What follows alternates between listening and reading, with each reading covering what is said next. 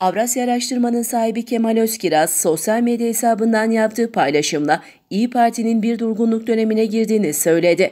Özkiraz gözlemlediği kadarıyla İyi Parti'de düşüş yaşanacağını da ifade etti. Kemal Özkiraz'ın İyi Parti ile ilgili paylaşımları şöyle.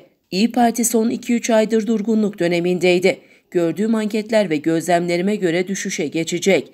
Merkezden uzak kalma görüntüsü ve dindar seçmene hitap etme çabası tabanda yanlış anlaşılıyor ve iki yılda inşa edilen güven yani AK Parti ile iş tutmaz algısı kırılıyor. İyi Parti AKP'nin oy kaybı yaşadığı dönemin söylemlerini kullanmaya başladı.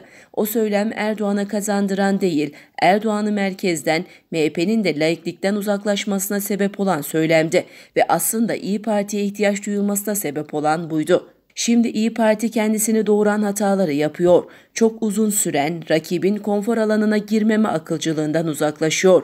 Acilen 3 ay önceki Meral Akşener ve İyi Parti geri dönmeli ifadelerini kullandı. Diğer yandan Ali Araştırma'nın son anketini bugünkü köşesine taşıyan Ahmet Takan, vatandaş Erdoğan'ın büyükelçi çıkışını yemedi değerlendirmesinde bulundu. Araya araştırmanın Ekim ayı anketinin diğer sonuçlarını da aktaran Takan, bugün milletvekili seçimi olsa hangi partiye oy verirsiniz sorusuna katılımcıların %34.7'si AKP, %27.7'si CHP derken İyi Parti %12.7, MHP %8.8, HDP %8.7, Deva Partisi ise %3.1 olarak açıklandı dedi.